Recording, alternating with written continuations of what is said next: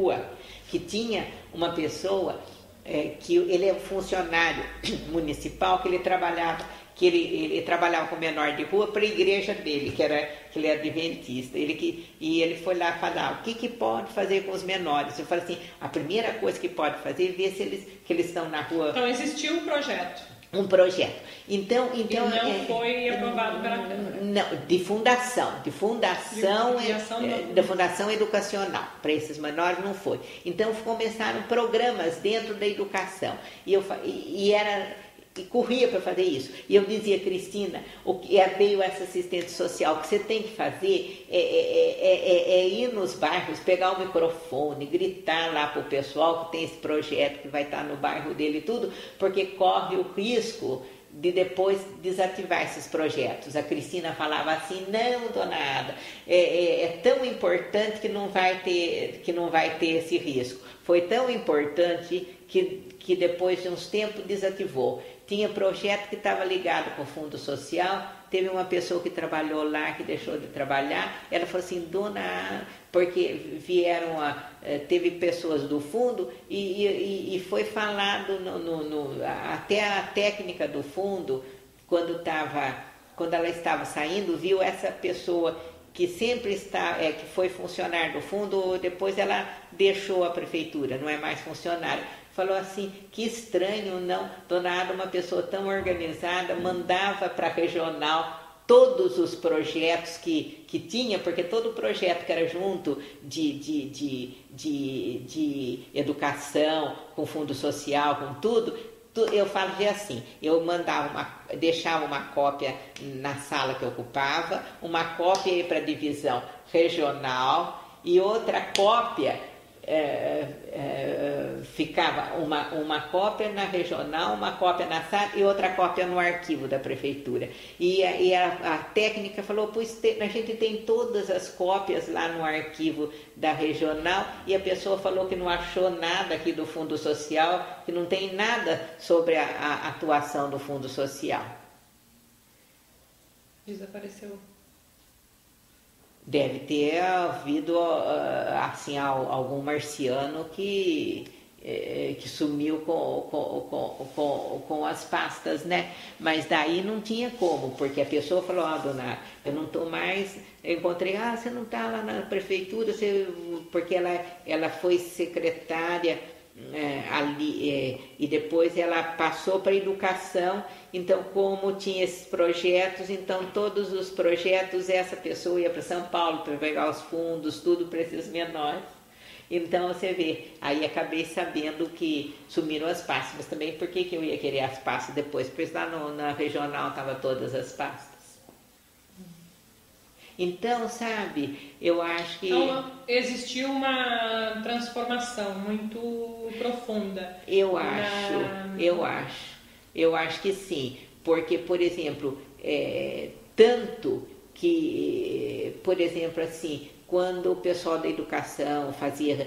É, dentro da educação, com a Cristina, todas as, ah, as funcionárias, porque ela foi funcionária de lá, agora ela é supervisora a Cristina Quina, é, que foi é, sobre essa. É, porque a Cristina era ligada também, porque a, a secretária de Educação era conselheira nata do, do, do, da Fundação Cultural. Então, quer dizer, eles fizeram muito. E, por exemplo, assim, e era assim, por exemplo, era muito comum uh, que, por exemplo, quando, é, vamos dizer, não tinha verba é, negava as verbas, porque a verba você tem que andar dentro do orçamento, principalmente o, Sá, o sábio, né, ficava muito bravo, então, porque daí o secretário de finanças, de administração dizia, não, vocês estão esgotando, já esgotou, não sei o quê, e eles não gostavam de ouvir, então ele ficava... Sábio trabalhava no Museu da Antropologia isso. do Vale do Paraíba, junto ao diretor com, Ademir Morato Lima, isso, naquele período, isso, de 19, até e, 1990. É, e daí, porque ele, é, acho que ele é da faculdade Taubaté, daí eles não queriam ir lá porque eles, ele estava meio uh, assim, não gostando de ouvir que não tinha lá a verba. Então eles telefonavam, precisa fazer uma reunião, mas não, a gente não quer ir na sua sala porque não sei quem negou a verba, não sei o que, você trata de vir aqui. Quer dizer, o pessoal da educação também entrava é, e dizia agora é, a gente tá, quem estava insatisfeito por uma coisa já falava tudo, porque eu nunca coloquei, vocês foram alunos, você sabe, nunca coloquei, porque se você coloca assim, distância, uh, não dá. Então, por exemplo, Cristina, o pessoal quando tinha plano de carreira, essas coisas, tudo ia lá, brigava e fazia não sei o quê. Depois voltou às modas de antes. Dois setores que tinham muita abertura era esse, de cultura e de, e, e de educação. Às vezes tinha, tinha é, quando foi dos areeiros, né, que é preservar o meio ambiente aqui, que a fundação ficou contra, teve vereador que foi lá dizer que era para demitir o, o, o, diretor do museu. Eu falei, ah, mas se demitir, é, eu trabalho com ele, tem que demitir, a, tem que me demitir também, então vai ficar ruim. Eu sei que, que, que a gente tem que correr. O poder público, o problema é assim, ele tem uma burocracia imensa imensa e não consegue entravar coisas que, que, ele, que foi feita para ele entravar.